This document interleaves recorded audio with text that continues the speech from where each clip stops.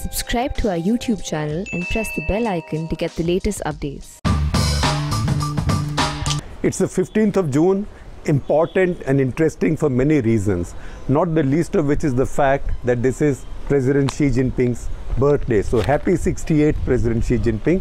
Uh, but that is not the reason we are doing this episode of Cut The Clutter because usually there is no clutter about somebody's birthday. They might be in a very rare case, but Xi Jinping is not one of those. So once again, happy birthday. It's also the first anniversary of the clash in Galwan.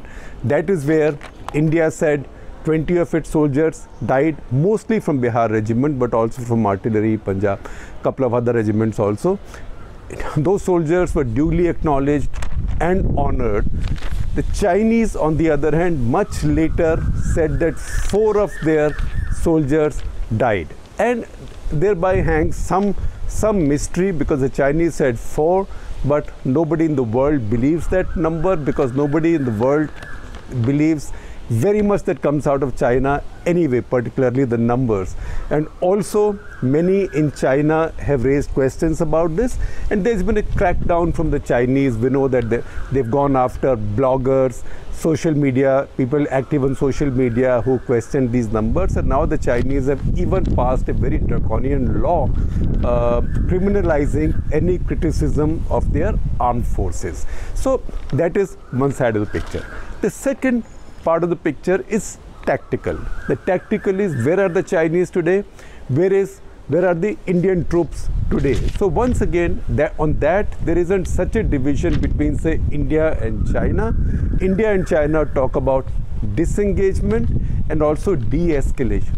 disengagement means wherever soldiers are sitting in areas where they should not normally be sitting.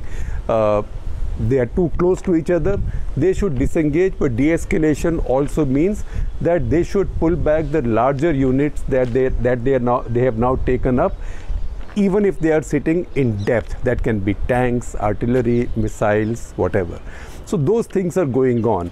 Now on the indian side in the indian uh, debate there is a divide. There is a divide among those who think that India has pretty much achieved whatever it wanted to tactically or territorially uh, with the PLA.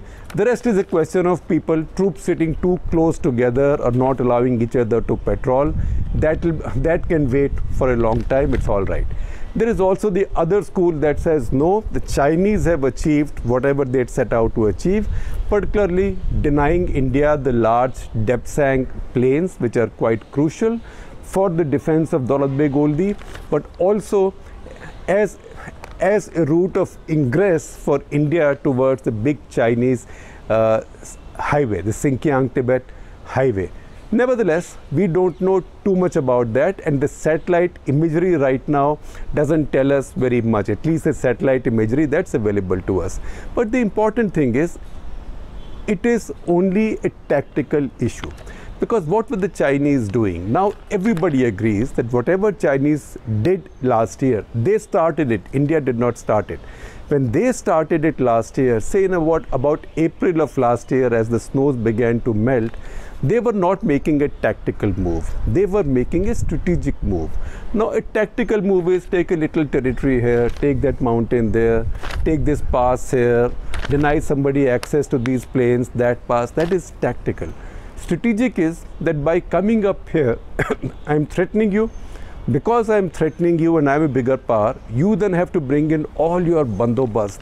So you have to, first of all, I throw your military posture off balance.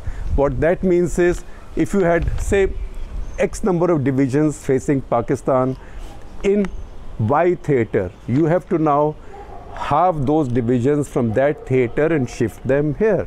Similarly, now you can't take me lightly in all the other sections of the frontier where you change your uh, where you share your border with me. So you have to move your troops up there. So i upset your military balance. I throw you off balance. Okay. I would still say that is the local strategic level. The third can be that i want you the chinese point point of view i want you to take the heat of my ally Pakistan. So that can be Xi Jinping's strategic objective, possibly. Also, because Xi Jinping knew and the Chinese knew, everybody knew that the Afghan situation was coming up for a denouement, Trump or no Trump, because Trump was committed to withdrawing his troops even earlier, dumping Afghans to their fortune, and the Pakistanis. And the Chinese have big investments in the zone abutting Afghanistan, Afghan border, in a very fragile area, the CPEC. So Chinese want a friendly dispensation in Afghanistan, which can only be by implication a Pakistan friendly or a Pakistan controlled dispensation. So this may have been a way of telling India to get off Pakistan's back. All of this is possible. How much of it's been achieved, we will know as time passes. I will, however, say that this is still at a larger tactical level or at local strategic level. What is the picture one year from Galwan in the global strategic level? How has that shifted? Now, it is not my argument that the global situation has changed because the Chinese moved into or Chinese began to push us around or being or rudely knocking at our doors or sitting on dharna on territory we consider our own in eastern Ladakh. That, but important thing is while that may not have set off this geopolitical change or geostrategic change across the world and actually shaken the power balance in the world, but it was the most visible and the most dangerous and the most profound new manifestation and symptom of a new muscular approach that the China had begun to take militarily and strategically in its neighborhood, that's with Japan, the Philippines, Taiwan, uh, everybody uh, in its closer neighborhood, and also with its strongest land neighbor. I'm not counting Russia there because with Russia now China has very friendly re relationship and we'll talk about that as we go along. So this is what made the whole world wake up. That is the Chinese now, besides doing the putter putter that they were doing in South China Sea, dumping some sand here, some sand there, conjuring up new islands, putting an airstrip, then claiming all the area around there, or threatening Taiwan, but they've been threatening Taiwan for a very long time. This time, they had shown the intent of actually risk a military confrontation with a fellow nuclear weapons power, that is India. And the world knows that India was not going to be a pushover, was not going to withdraw or leave them whatever they wanted or sign on the dotted line. That wasn't going to happen. So this was then seen globally as a big statement of intent by the Chinese. So what has happened now? 15th of June, I told you, Xi Jinping's birthday, Galwan anniversary, it's also the day that we have seen the big NATO statement. So, two things have happened in the last three days, uh, two and a half days, in fact. One is the G7 summit at Cornwall in England. Uh, now, Cornwall, G7 are the seven rich democracies in the world that's America, Canada, Britain, Germany, France, Italy, and Japan and then it has a bunch of invitees or guests. India is among them. These are all democracies. Now, they issued a statement at the end of their meeting, a 25 page statement. And then the following day at Brussels, many of the same leaders met at the NATO summit. Joe Biden was present at both of these. And NATO also issued a long joint statement. So these two statements are very important and these reflect the geostrategic change one year after Galwan. Once again, I'm not saying these have been caused by Galwan or only by Galwan, but this is one year after Galwan. The picture, the global balance of power has shifted and it has shifted in a way that, uh, that you can say, using Chinese language, that this has shifted in a way that displays many Chinese characteristics or many Chinese influenced characteristics because you can see that the world is now seeing China as the other pole. China is now the second superpower. You cannot deny that. China is the second superpower without a doubt. Now, both statements are very careful. The the first statement, the G7 statement, actually is more careful, but it still leaves nothing to chance. It talks about usual human rights, rule of law, internet freedom, uh, controls on hate speech, fundamental freedoms, free expressions, uh, some of which have caused comment and concern on the Indian side, as it should, because some of our response to internet freedoms, etc., internet shutdowns in India has been quite bad. But let's not let me not digress there. Now the G7 statement talks about shared values, open societies, and then comes the sting, and it's a more than a double sting. It talks about the need to honor, restore, and honor and maintain the autonomy of Hong Kong. That's a hot button issue for China. It also talks about free and open Indo Pacific. Again, the Chinese knew what that means in English language. Third, it talks about the freedom of the Taiwan Strait. Once again, the Chinese know what that means in Chinese language and in their in their own language. So these G7 have made these very clear references, and we have seen from international media that it does look like a couple of the European countries were a little bit shy of getting into it because everybody has their own fish to fry with China. Plus, China is a big daddy. Do you really want pangas with China or not? And you know that the Chinese have no sense of humor about these things. You can't sign this and then quietly go to the Chinese and say, boss, don't take it too seriously. I didn't mean it. It doesn't work like that. So these are the important things that have happened. Uh, next, if you come to the NATO statement. Now, there was an expectation that the NATO statement, statement will be tougher on China. So I read it very carefully and I was reading it, looked, looked like they had completely given the China a pass. In fact, several of the paras early on in the NATO statement talked about Russia as if Russia was still the preeminent challenge to them in their part of the world, which may be the case because it is Russia that's pushing at Ukraine on the one side, Georgia on the other, backing the Belarusian dictator, and all European countries have concerns about that. So that is their, but that that is their local or regional strategic problem. In, in para 55, the NATO statement also comes to China.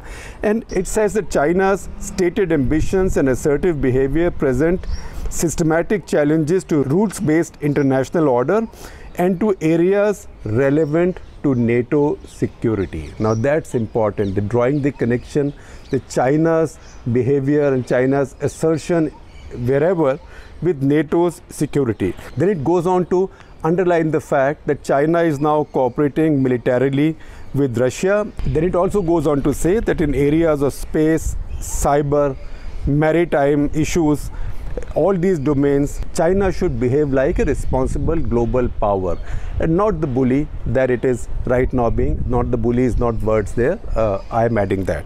And then it says that we are concerned about the fact that China is opaque it has to give up its opaqueness and also it has to stop using disinformation. So both these statements are harsh on China. Both these statements also tell you that a lot of the world is now looking at China as trouble and also realigning the forces there. And all of this, in a way, is something that India looks at very seriously. Now, with this, also see the interview that Vladimir Putin has done with NBC. He doesn't give these interviews to Western media that often, but when he does, he speaks quite candidly. In that interview, the interviewer has pushed their hardest to get him to say something about Chinese military, about Chinese military buildup, about a threat from China, and he continues to say the Chinese the Chinese-Russian relationship at is at unprecedentedly positive or high levels. He also says that China is no threat to Russia. So once again, that is something that India has to note. So what has happened? One year after Galwan, you find a lot of the democratic world right now worrying about China and very cagily, carefully, but yet firmly stating its intent and combining their effort. I'm not using forces because that sounds like military, but combining all their efforts and their abilities to balance China. Having said that, one thing I need to underline that it is very short sighted to say a new Cold War is building up. And I got an answer to this. This was a question brewing in my mind also that why is this not the new Cold War? And then I saw this bunch of tweets by this foremost expert at Rand Corporation. Rand Corporation, as we know, is a very right of center think tank in America. And he made very good points, and I'm sharing these with you. He made a very good point in particular. It's a string of tweets, but the central point is that the Cold War was different. The Cold War that started after the Second World War, that meant the essential part was that only one of the two systems will survive. That either the Soviet and communist system will be destroyed or the American led capitalist system will be destroyed. Only one system can survive. And ultimately, it ended like that in 1989 when the Soviet Union collapsed and the Warsaw Pact collapsed. This is not that kind of Cold War because even the rest of the world does not want China to collapse. It is not working for China to collapse. We do know that Donald Trump, uh, Mike Pompeo earlier had said that unless there is the end of the CPC, China, uh, Communist Party of China, uh, there can be no peace with China. China will continue to be a nuisance state. But I do not believe at this point that that is the view of the rest of the world. This is not a Cold War in the sense of either either side wanting the other disintegrating and dying. So to sum up, uh, today there is tension. Uh, there are two camps. There are two superpowers. There are two camps led by two superpowers, but neither side has as its objective the idea that the other one should just disintegrate and die as a geostrategic entity.